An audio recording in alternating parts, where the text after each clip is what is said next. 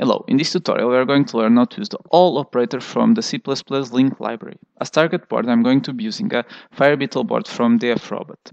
So the ALL operator basically allows us to evaluate if all the elements of a range fill a given criteria or not. If all the elements fill that criteria, then this operator returns true. Otherwise, if at least one of the elements doesn't fill that criteria, it will return false. In our simple scenario, we are going to use this to check if all the elements of an array are lesser than 100. Uh, if all the elements are, then the ALL operator should return true, otherwise it should return false.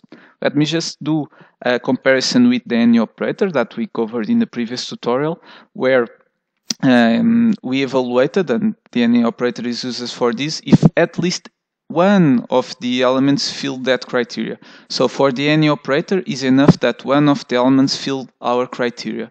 For the all operator, all the elements of our range need to fill that criteria and that's the difference and basically both operators are very useful and they can be used in different scenarios so getting right to the code. As usual, you start by including the library and declaring the using of the C++ linq namespace, and then moving on to the setup, where we typically write our code for our simple examples. Uh, we start um, by opening a serial connection.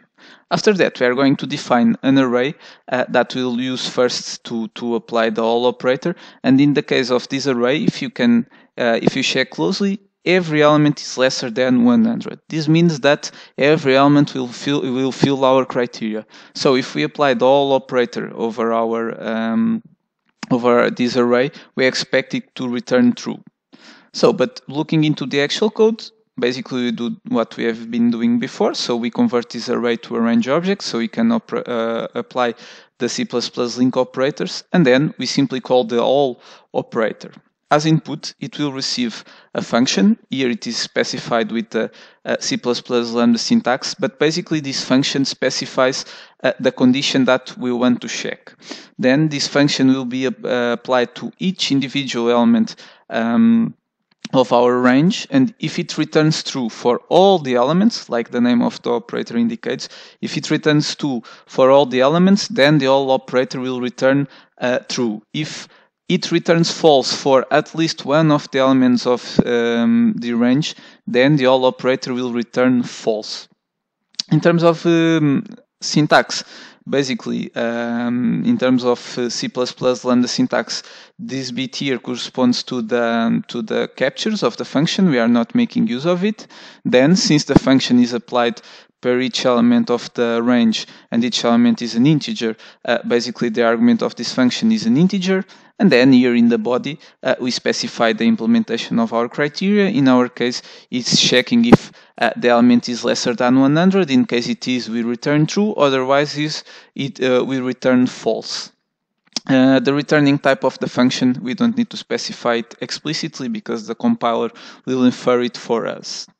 So basically this expression 3, just to recap, will return true if all the elements over which we will apply this function uh, are true, this function returns true for all these elements. Otherwise, if at least one returns false, then globally the all, uh, the all operator will be false. As we have seen since our original uh, array has elements, all the elements lesser than 100, then this expression here will always return true for each element, so we expect that this result array 1 will have the, the value true at the end. Now we are going to do the same uh, for a second array. So we are going to define here a second array. And as you can see here, some of the elements are indeed lesser than 100, but the others are not. So globally, uh, if we apply the all operator over this array with the same criteria, since some of the elements will return false, then globally the all operator will return false. Um, and that's precisely what we are going to, to do here. Basically, we are going to apply the all operator uh, over our array. Naturally, first we convert it to a range, and then we apply the all operator pretty much with the same lambda function here passed as input that checks uh, if each individual element is lesser than 100 or, or not. Uh, since at least two elements, as you can see here, these two elements don't fill our criteria, for these our function will return false, so globally the all operator will return false. And that's it, very simple. Again, this is a, an operator in terms of functionality similar to the any operator, but in this case it evaluates all the, all the elements, they all need to fill the criteria. Then we are going to print a result to the serial port so we can uh, check if what we obtain matches what, uh, what we have said uh, here while analyzing the code. So as usual, I've already uploaded uh, the code to my ESP32 just to setting here so you can see it running from the beginning. And as expected for array 1, we have obtained the value true. This means that for array 1, all the elements filled our criteria, all the elements were lesser than 100. And for array 2, uh, we obtain the value 0, which corresponds to false, which basically indicates that not all the elements um, fill the, the, the, criteria. Naturally, when we go to the all operator, we don't care how many elements fill or not the criteria.